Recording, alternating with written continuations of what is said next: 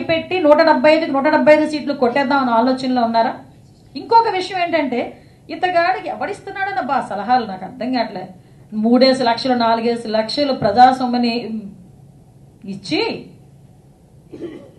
వాళ్ళకి ఏమో ప్రజా సొమ్ముని వాళ్ళకి దారదత్తం చేసి దిక్కుమాలిన ఐడియాలన్నీ తీసుకొచ్చేస్తున్నాడు నాకు ఇక్కడ ఇంకో డౌట్ కంపతీసి ఎవడైనా జగన్మోహన్ రెడ్డి వ్యతిరేక ఉన్నాడేమో ఆ సంథింగ్ సలహాదారుల్లో. ఎందుకంటే అన్ని దిక్కుమాలిన సలహాలే. అన్ని దిక్కుమాలిన సలహాలే. అందులో ఒక్కటి జగన్మోహన్ రెడ్డికి ఉపయోగపడే సలహా బయట తీ- తీసుకురమ్మనంటే ఎందుకంటే ఈ మాట అంటున్నా నేను ఎవడో సలహాదారుడు వచ్చే ఉంటాడు. తలకమాసిన నేతలో చాలా మంది ఉన్నారు కదా సలహాదారుల కింద. అందులో ఎవడో ఒకడు వచ్చి ఉంటాడు ఎవరో ఒక ఐఏఎస్ ఆఫీసర్ వచ్చి ఉంటాడు. అరే ఐఏఎస్ ఆఫీసరు ఆ దిక్కుమాల సలహాదారులు కూర్చొని నెలకి నాలుగు లక్షల రూపాయల జీతాలు తీసుకునే సలహాదారులు అందరూ కూర్చొని ఏ యాక్ట్ పెట్టి సభల్ని ఈ వాటన్నిటిని ఆటంకపరచాలి అన్న ఆలోచన చేసి వీళ్ళు బుర్రలు ఎంత క్లియర్గా పనిచేసాయంటే పద్దెనిమిది వందల అరవై ఒకటికి వెళ్ళి వీళ్ళు మొహాలు తగలయ్యా. పద్దెనిమిది వందల అరవై ఒకటిలో పోలీసు వాళ్ళు పెట్టిన యాక్ట్ అది. అది ఏంటి? బ్రిటిష్ పోలీసు వాళ్ళు పెట్టిన యాక్ట్.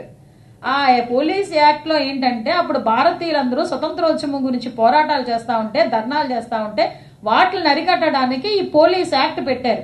దాన్ని బేస్ చేసుకొని ఈ జగత్తర్ గారి పరిపాలనలో ఆంధ్రప్రదేశ్ ప్రజల ప- మాకు ఈ పరిపాలన వద్దు అని చెప్పి ధర్నాలు మీటింగ్లు పెట్టుకుంటారని ఆ యాక్ట్ని అమెండ్మెంట్ చేసి తిరిగి యాక్ట్ పెట్టాడంటే ఇంతకు మించి దిక్కుమాలిన యాక్ట్ ఏదైనా ఉంటుందా? జీవో ఏదైనా ఉంటుందా? GO number one.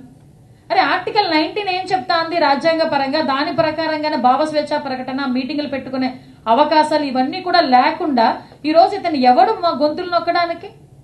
అంటే మీకు ఒక విషయం అర్థం కావాలి. న్యూ ఇయర్ పూట మనోడికి ఏదో ఒక గిఫ్ట్ కావాలి.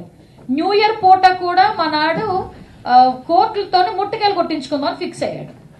కాబట్టి ఇది కోర్టుకి వెళ్తే కంపల్సరీగా మొట్టికాయలు ఏర్పడతాయని సంగతి తెలుసు. తెలుసుండి కూడా ఇలాంటి చీకటి జీవులు తీసుకొచ్చి జగన్మోహన్ రెడ్డి పేరు